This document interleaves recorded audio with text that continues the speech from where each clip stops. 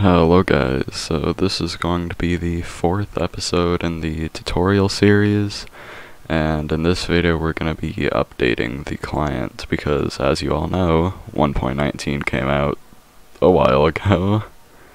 So first, we're going to start off by going to fabricmc.net slash develop, and then you're just going to get these versions.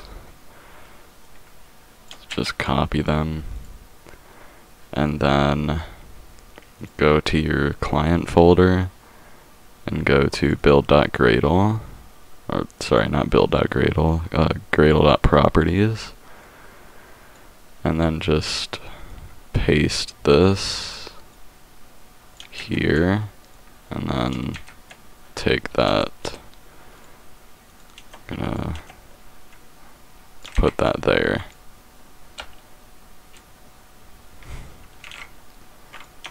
this doesn't really matter, like indents and stuff, it's just kind of formatting. Okay.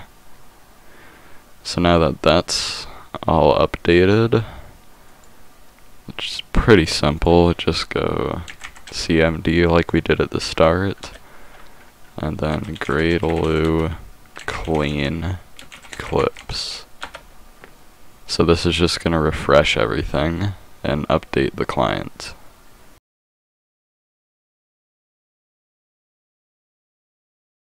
Okay, so now that that's done, we can close out of this, come back into Eclipse, click on this folder so it's selected, and press F5. This will just refresh everything, and everything should be updated now.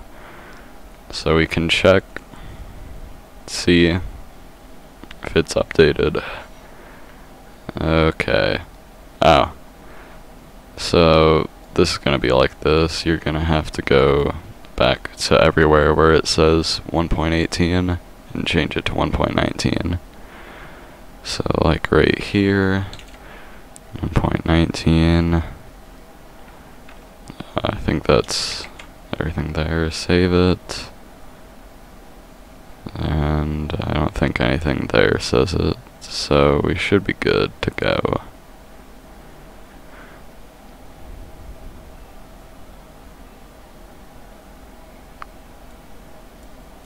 Minecraft 1.19.